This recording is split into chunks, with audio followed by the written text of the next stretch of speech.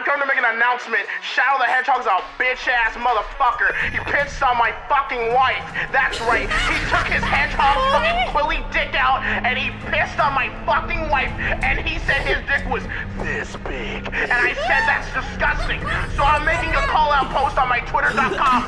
Shadow the Hedgehog, you got a small dick. It's the size of this walnut except way smaller. And guess oh, what? Here's what my dong looks like.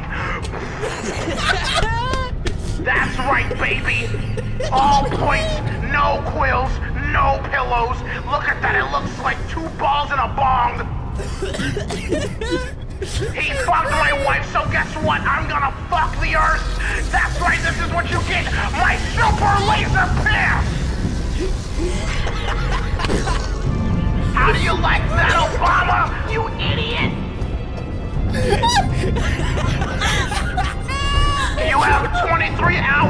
The piss droplets hit the fucking earth. Now get out of my fucking sight before I piss on you too.